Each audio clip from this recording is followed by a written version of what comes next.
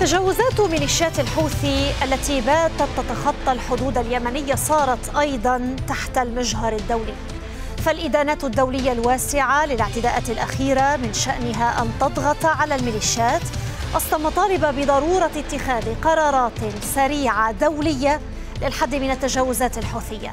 ما هي الخطوات العملية المطلوبة من المجتمع الدولي لردع ميليشيات الحوثي وممارساتها المزعزعة للاستقرار؟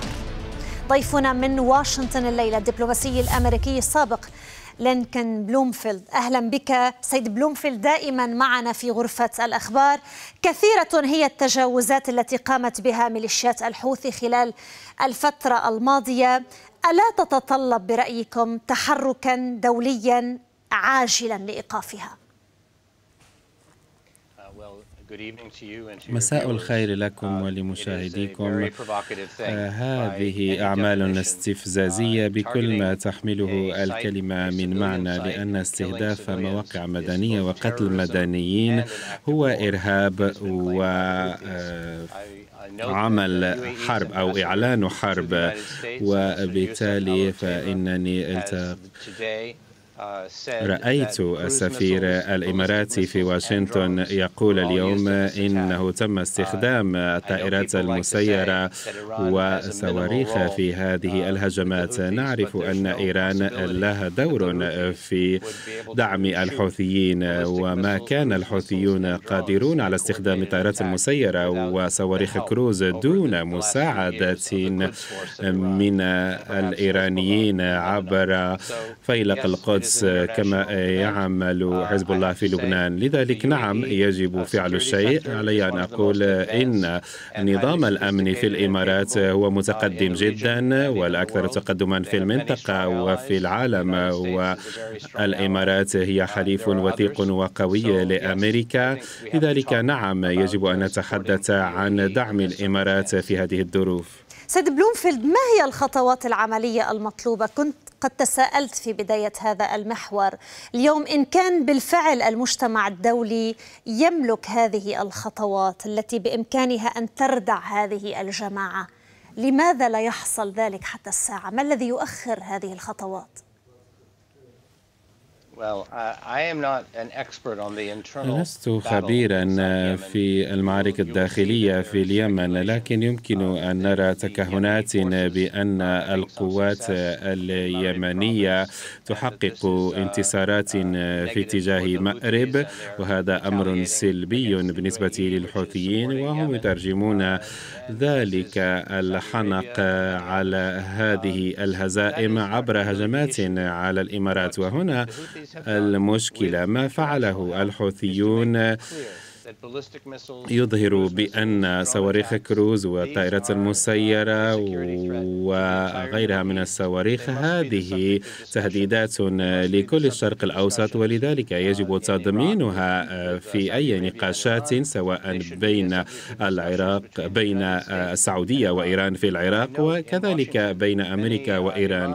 ونعرف أن العديد من المراقبين هنا في واشنطن قد يقولون في وسائل الإعلام الإعلام التلفزيوني أنه لا يجب أن نتحدث عن صواريخ ولكنني أقول إنني أختلف مع هذا. هذا الذي حدث هو مثال يظهر بأننا يجب أن نتحدث عن برنامج صواريخ الباليستية. وبالتالي ضرورة التحرك دوليا سيد بلومفيلد حتى أعود لربما إلى هذه الخطوات العملية التي يجب أن تتخذ في هذا الإطار لردع هذه الميليشيات هل يملك المجتمع الدولي هذه آه، القدرات؟ لأن الكل يعول على تحرك دولي آه، لإيقاف هذه الميليشيات عن هذه الممارسات. كما تعلمين الأمم المتحدة وكذلك المبعوث الدولي والمبعوث الأمريكي يعملان بكد وجد من أجل إنجاح وقف إطلاق النار والسماح بالمساعدات الإنسانية إلى اليمنيين. الحوثيون هم الذين يرفضون uh, وقف النزاع. ولذلك حتما علينا أن نضغط كثيرا على الحوثيين وأيضا على أولئك الذين يدعمونهم. فيلق القدس هو حليف للحوثيين والحرس الثوري الإيراني. علينا أن نتحدث أكثر عن هذه القضايا. أعتقد أنه مع الإمارات العربية المتحدة التي تعد حليفا لأمريكا وآخرين أعتقد أننا يجب أن نكون واثقين بأنه يمكن تنسيق الدفاع والرصد والمراقبة والاستطلاع. وأمريكا لها مباعث قلق بشأن الطائرات المسيرة ونحن نطور قدراتنا بشكل متواصل. وهناك نقاشات جارية حاليا بين أمريكا ونظرائها الإماراتيين. في هذا الإطار سيد لينكن يعتبر البعض أنه لطالما شكلت الاتفاقات اللي سبقت اتفاقات وقف إطلاق النار والتي اندرجت ضمن الحلول الدبلوماسية التي سعت إليها بعض الجهات آه، أنتجت في كل مرة لربما آه، إعادة تموضع أو رصف صفوف من جديد لهذه الميليشيات. وبالتالي يقول البعض أنه استفادت ميليشيات الحوثي طوال الفترة الماضية من كل الاتفاقات السابقة حتى تتمكن من جديد أن تعيد تموضعها وأن تعيد مخططاتها. هل باتت اليوم إذا ما نظرنا إلى هذا التحليل هل باتت الحلول العسكرية ضرورية؟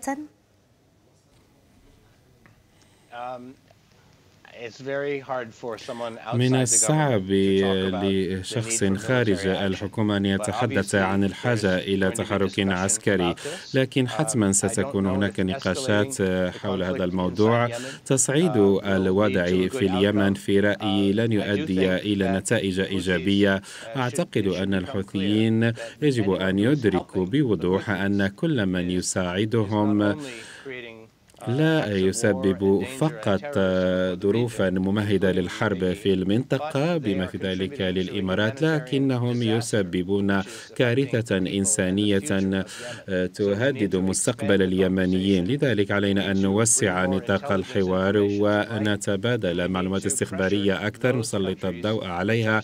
يجب أن ندعم تلك الدول التي تساعد الحوثيين في اليمن بشكل أخرق. وإيران إيران سببت حربا أهلية وطائفية في المنطقة وتؤجج النزاع بين السنة والشيعة في دول المنطقة برمتها سوريا ولبنان وكذلك المدن الشرقية للسعودية والبحرين. هذا يحدث لسنوات. يجب أن نجري نقاشا حول ما يجب فعله إزاء هذا الأمر.